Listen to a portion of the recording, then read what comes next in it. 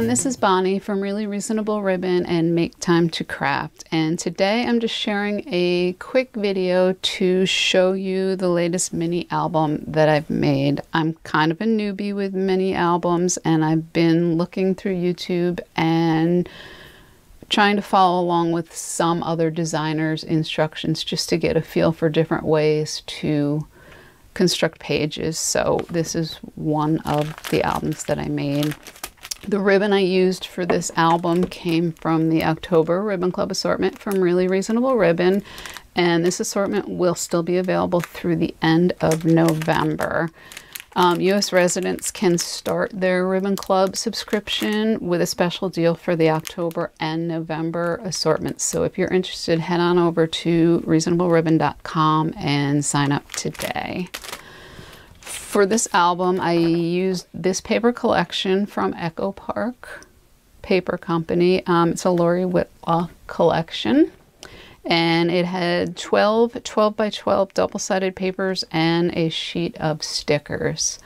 Now, one thing as a newbie that I didn't take into consideration was how much paper and what I needed. I have five pages in this. Um, four would have been a lot easier with the paper with the 12 pieces of design paper because this is all I have left and I pieced together a lot as you'll see as we go through the album.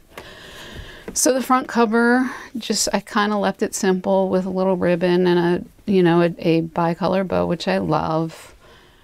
Um, I also have some netting on the side, some antique gold netting and I layered ribbon over it and used a couple of the elements from design paper and the back is pretty much the same. I, I put some ribbon across and these are just some of the design papers.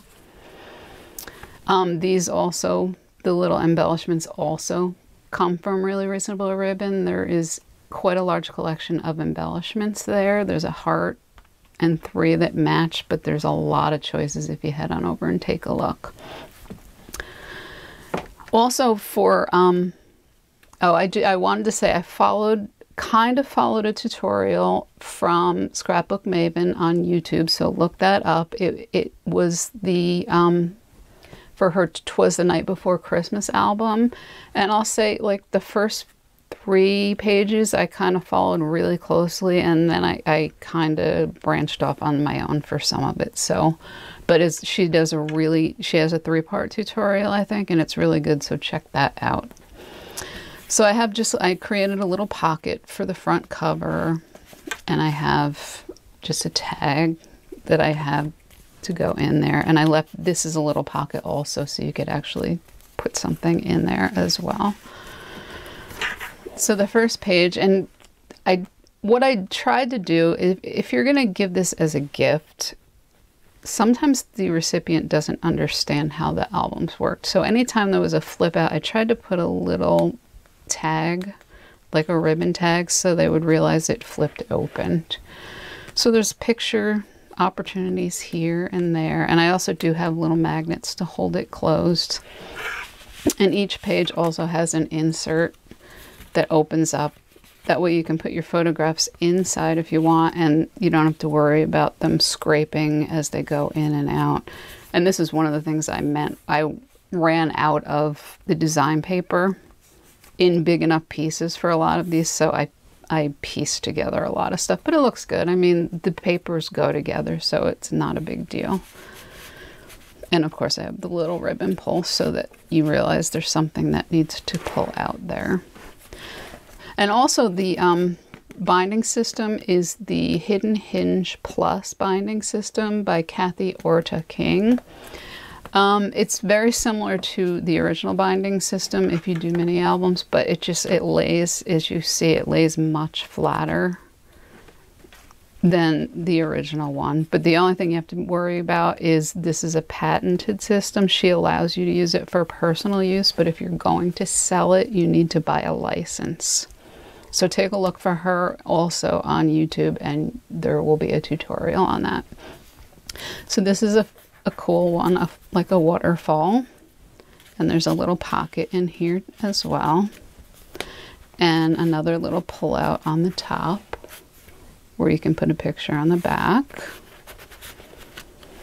Um, this one, I just have the belly band here and a little pull out. There's some tags here that you can put little pictures or journal on the back of. And just the back, you could cover that with a picture if you wanted. And it just slips under the belly band. And of course, another pull out for pictures. And on this one, there's another, again a couple of tags, either pictures or journaling, whatever you prefer. And this folds out. Another picture can go there. And again, I have little magnets on there. This is one that will flip up. you can put a picture here, and it also flips out for another picture another one of the similar pullouts. Each page has the pullout.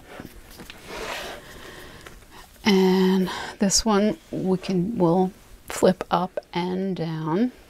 So you can really picture here, picture here. You could even cover the truck if you had extra pictures.